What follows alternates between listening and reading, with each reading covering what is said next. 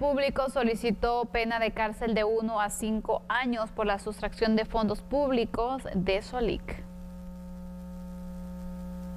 En el Tribunal Noveno Penal fueron juzgados Otto René Pérez Quijano, Carla Judith Martínez López y José Rodolfo Sandoval Pineda. Según la investigación del Ministerio Público, participaron en la sustracción de varios miles de quetzales de la zona libre de comercio Santo Tomás de Castilla, Solic.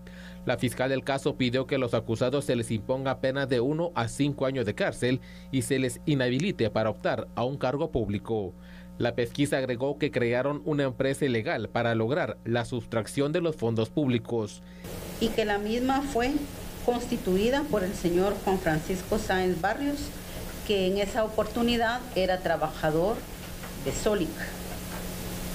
La declaración del señor Luis Gilberto Chihuahua Calderón, que en, ese, en el año 2015 ocupaba el cargo de asesor jurídico quedó probado que solo él diligenció los procesos civiles en, el puerto, en, en Puerto Barrios, en los juzgados de instancia civil en ese municipio. Es decir, que se pagaron, que con la declaración del, del señor Chihuahua Calderón quedó probado que se pagaron servicios que la entidad en ningún momento prestó. El juicio se aplazó para el viernes 1 de marzo. Ese día se le dará la palabra a los acusados para que hagan una última petición a la jueza del Tribunal Noveno Penal.